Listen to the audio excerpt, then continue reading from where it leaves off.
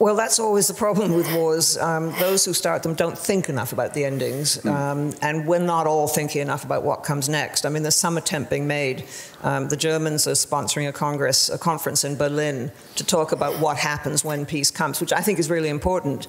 Um, we were talking about this a bit in, in the green room, and the, and the, the, the terrifying thing, and, and the unfortunately, I think something that is very likely is we'll end with a frozen conflict, and Putin has a number of frozen conflicts around his borders, where Ukraine is constantly worrying about what's happening over in the east, constantly worrying about subversion, constantly worrying about hacking attacks, constantly worrying about misinformation, um, disinformation, worrying about internal subversion, and is kept off balance and is unable to do the, the I mean, the huge job now of rebuilding Ukraine.